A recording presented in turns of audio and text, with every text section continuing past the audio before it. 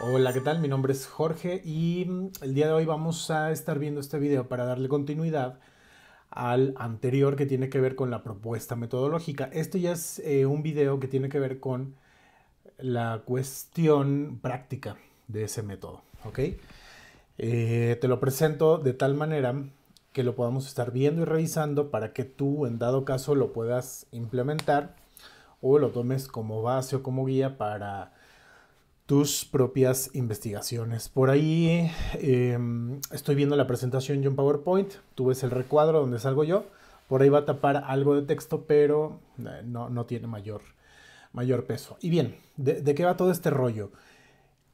Yo necesitaba recopilar información de campo con, con digamos, con mis usuarios, los universitarios, y una forma que mm, se me ocurrió, que se me hizo fácil para, mm, hacer esta recopilación es eh, crear un pequeño proyecto.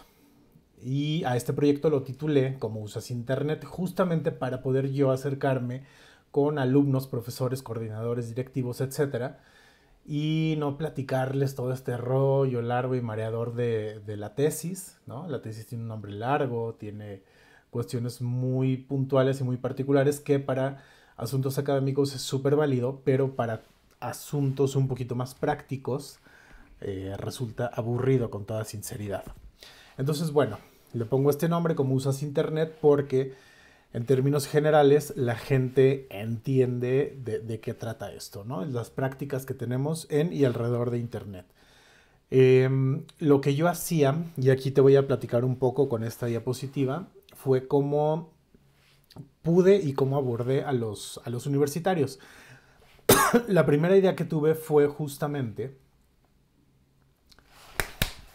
La primera idea que tuve fue justamente abordarlos de manera individual para que no estuviera tan sesgado el asunto. Eh, y prácticamente era irme a las escuelas y acercarme con ellos uno por uno. Claro, esa idea puede resultar interesante, pero es sumamente lenta, es un poquito más costosa em, y no necesariamente me hubiera dado los resultados eh, finales esperados. ¿Qué fue lo que hice antes de, seguir avanzando con todo esto? Yo me acerqué con directivos, coordinadores, profesores em, que ya estuvieran trabajando de forma activa en sus distintas universidades y básicamente les pedí permiso para acercarme con sus alumnos y con sus grupos. Algunos de ellos me dieron acceso a 15 personas, otros me dieron acceso a 150 personas. Entonces ahí también es una parte eh, a, considerar dependiendo de la muestra, de la población, del experimento que tú estés eh, desarrollando también. Eh, creo que eso vale, mucho la pena mm, tomar en cuenta desde el, desde el mismo diseño inicial. Y lo que hacía era eso, me comunicaba con ellos y al final el, acuerdo general fue yo poder acercarme a grupos ya configurados, em, digamos, meterme a sus clases literal, un par de sesiones, dos, tres, cuatro sesiones. Y en la primera sesión era cuando yo les presentaba toda esta información, que esta es la guía de la que me interesa estar hablando. Entonces te platico un poco cómo estuvo el antes y cómo eh, está ahorita. Y después te voy a hacer otro video donde platico sobre cuáles fueron algunos de los resultados preliminares, pero por el momento me quedo con esto. Y bien, eh, ¿qué hacía al inicio? Pues me presentaba yo. Em, les platicaba quién soy, qué estoy haciendo y por qué estaba ahí con, ellos. Eh, y usualmente tenía una recepción bastante buena y bastante amigable porque creo que no es muy común que las personas que estamos dentro pero a la vez fuera de la academia nos acerquemos a los, a los grupos, ¿no? Ellos están acostumbrados a ver a sus profesores, a sus coordinadores, a sus prefectos, a sus docentes, etc. Eh, y de repente alguien extraño pues les, les cambia un poco la movida, simplemente por eso, ¿eh? Este, les cambia un poco la rutina y eh, claro, no tienen clases, entonces eso es también como un, beneficio, aprenden de una manera distinta, eso es a lo que voy. Y de ahí pasaba a explicarles eh, de qué trata este proyecto, que es lo que estamos viendo ahorita en pantalla, lo que estás viendo aquí en la, en la diapositiva.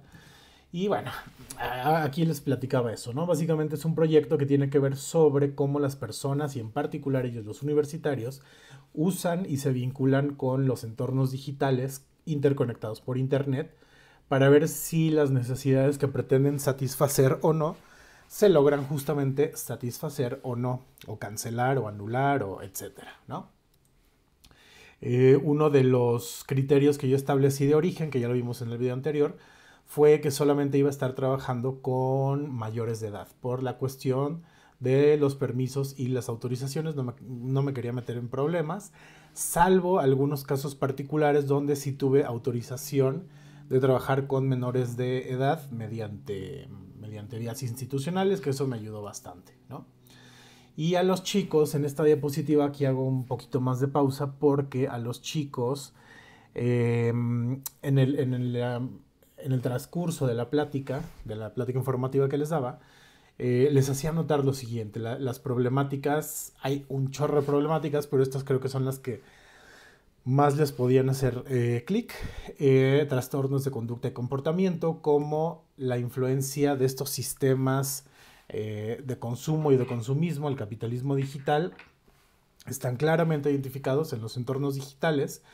Y también por último, una problemática que a la vez yo la convertí en variable, fue justamente el nivel de alfabetismo o analfabetismo digital entre la población universitaria, ya la, población muestrada. En los resultados te, voy a presentar ahí que, encontré, ¿no? Y algo bien interesante o bien importante, más bien, era mm, que los chicos tuvieran bien claro la cuestión de la seguridad y la privacidad de sus datos. Em, esto se los hacía saber antes de, de que, perdón, antes de que cualquiera de ellos participara conmigo en, las actividades que les iba a proponer después, ¿no? Y aquí sí les hacía una pausa y se los tenía que dejar bien, bien claro y con palabras eh, muy sencillas. Em, es un, o bueno, era un acercamiento voluntario, anónimo, y en, ningunos, en ningún caso eh, ningún chico se debería sentir obligado a participar ni darle información que no quisieran dar. Les platico que alrededor de yo me acerqué con alrededor de 450 universitarios y el primer filtro me descartó casi un 10%. No, no, no, es un poco menos, como un 5%. Eh, de alumnos que dijeron, me interesa lo que estás diciendo, pero yo no quiero contestar por X, Y, Z. Yo no les preguntaba los motivos y este punto era muy bueno para justamente poner aquí el freno. Decir, si estás interesado, qué bueno, si no estás interesado, eh, no pasa nada, ¿no? Nadie, nadie te va a ver feo. Y por supuesto, bueno, ahora esta investigación yo la realizo con un contexto bien específico que tiene que ver con obtener información para mi, tesis doctoral, por lo tanto yo estoy regido por el reglamento de mi escuela, que es el TEC de Monterrey, el reglamento de CONACIT, que es eh, quien me patrocina el programa, y algunas eh, leyes adicionales, eh, por ejemplo la, Ley Federal de Protección de, Datos Personales y sobre todo también el, reglamento de cada una de las escuelas. Eh, algunas de ellas me pidieron que no les solicitara teléfono, por ejemplo, lo descarté, que no les solicitara correo, lo descarté, es decir, ahí ajustaba con respecto a las distintas necesidades. Y ahora, aquí viene el primer paso, esto ya es la parte práctica de la cuestión metodológica, ¿no? Eh, ya que estaban enterados los chicos, el primer paso era solicitarles que me respondieran una encuesta inicial. Esta encuesta inicial estaba compuesta por tres apartados. El primero de ellos eran los datos de control, eh, por ejemplo, edad, la escuela a la que pertenecen, el programa que están estudiando, Em, ¿Qué más les pedía? En algunos casos correo, en algunos casos teléfono. Les pedía también que me pasaran la dirección de cuatro de sus, de hasta cuatro de sus eh, redes sociodigitales, Instagram, Facebook, TikTok y Twitter. Eh, todo eso era, oh, por supuesto, este, no obligatorio. Me podían contestar solamente algunos datos, lo demás era no obligatorio. Esa era la primera parte y las otras dos partes estaban compuestas de dos cuestionarios ya validados.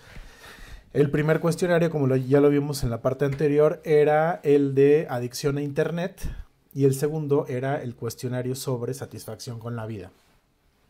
Todo esto me tomaba alrededor de unos siete minutos que contestaran, dándole las instrucciones, etcétera. Y aquí en pantalla tú estás viendo un pedazo de un código QR que yo usaba con ellos para compartir las encuestas. Los códigos QR hoy ya están sumamente eh, inmersos en las actividades diarias de las personas que tienen un teléfono inteligente, que tienen conexión a Internet. Entonces yo te sugiero que te olvides de esta cuestión de andar eh, cargando papeles, em, cargando encuestas impresas, vete directo con, con em, la aplicación de cuestiones digitales siempre y cuando tu población o tu muestra em, corresponda a las habilidades mínimas necesarias y al acceso a la tecnología mínima necesaria para responder información o para tú recopilar información eh, de esta forma. Lo que siempre les digo es muy distinto si mi proyecto, mi diseño eh, de, experimento hubiera sido para hablar con eh, estudiantes de educación básica en comunidades aisladas del sureste del país o del noreste del país, lo que sea. Hubiera sido muy distinto, pero en lo general, este, este, digamos, era un criterio que aplicaba muy bien por la cuestión también que se adapta al tema general, ¿no? Entonces, bueno, les aplicaba esta encuesta, este QR, tardaban alrededor de 7 minutos y luego les pedía acceso a una información que se puede considerar, digamos, un poquito más personal, más privada, que es eh, la cantidad de tiempo que pasan en pantalla en sus dispositivos móviles y las aplicaciones que más utilizan. Por ejemplo, aquí estamos viendo en pantalla un, son en realidad cuatro pantallazos de cómo ellos tenían que mm, eh, localizar la aplicación que en Android viene prácticamente por defecto, desde Android 10, 11, 12, 13, ya la trae casi por defecto, salvo que algunos fabricantes la modifiquen, em, en donde se registra en automático el tiempo que pasan en pantalla y las aplicaciones que más utilizan. Te da más datos, te da más datos separados por día, te da más datos separados, por ejemplo, por eh, notificaciones, la cantidad de notificaciones que reciben, la cantidad de, desbloqueos eh, que realizan en el dispositivo cada día, eh, que a mí eso en realidad no me generaba mayor valor, por eso no lo solicité y yo me quedé nada más con la cuestión de que me dieran información relacionada con el tiempo que pasan en pantalla solo en su dispositivo móvil y también las aplicaciones que más utilizan, que ahí se registra el tiempo para cada una de esas aplicaciones y el tiempo global. Este proceso fue un poco más lento eh, porque muchos de los chicos, yo te podría decir que el 95% de los chicos no tenía idea de que esto vivía en su teléfono y los que sabían que sí estaba en su teléfono, en, su teléfono, perdón, no le prestaban mucha, no le daban mucha importancia, ¿no? Entonces era un poco más lento, simplemente por la cuestión de que los tenía que hacer un poco más conscientes sobre cómo recuperar este tiempo. Em, para iOS también está la versión de tiempo en pantalla y esa se accede mucho más sencillo porque está directo en la parte de la configuración. Y luego finalmente, em, para yo poder recopilar la información que ellos tenían como el tiempo en pantalla, les solicitaba que me hicieran una captura, un pantallazo y que me lo mandaran al WhatsApp y lo mismo. Les compartía este QR, se los proyectaba, se los se los proyectaba diga, literal en un proyector en el aula. Si no había un proyector en el aula, lo usaba yo, digamos, lo ponía aquí en la pantalla de mi teléfono y después les pedía que se lo compartieran entre ellos. Usualmente tienen grupos de WhatsApp del, grupo, del salón, de la clase. Eh, entonces también esa parte era muy sencillo eh, de compartir. Y de esta forma yo pude recopilar información bien rápido. Digamos, el tiempo mínimo que me requería hacer esto, con todo el rollo de oye, yo soy tal y estudio tal y los ejemplos que ellos me daban, etcétera, eh, era de aproximadamente 30 a 40 minutos. Yo usualmente pedía tener espacios de hora y media, una hora, hora y media, para poder generar eh, confianza con los chicos, porque también en ese momento yo aprovechaba para hacer un registro etnográfico eh, de la información que los universitarios me compartían. Algo bien interesante con esto es que es un tema popular, aunque a las personas no conozcan, aunque no les guste, etc. Siempre hay alguien eh, en, los grupos que te dice, oye, eh, me acaban de, de, hackear WhatsApp. Oye, este, a un primo le acaban de robar su cuenta de tal red sociodigital. Oye, ¿y qué pasa con la seguridad cuando nos subimos a un taxi de plataforma, por ejemplo, ¿no? Entonces todos esos datos van saliendo y salen como una conversación normal. Em, y lo interesante aquí es eh, que eso se puede capitalizar y se puede compilar para usarse como información etnográfica después, por supuesto, ¿no? Este, por eso es muy importante yo lo que hacía al final de cada sesión, en friega, pues me iba a registrar lo que habían comentado, lo que observaban, lo que no observaban, lo que les interesaba, lo que no, no les interesaba, eh, para que no se me fuera a olvidar, porque yo esas sesiones no las grababa porque a mí, no, a mí me interesaba preservar, digamos, como estos espacios de confianza con los alumnos, ¿no?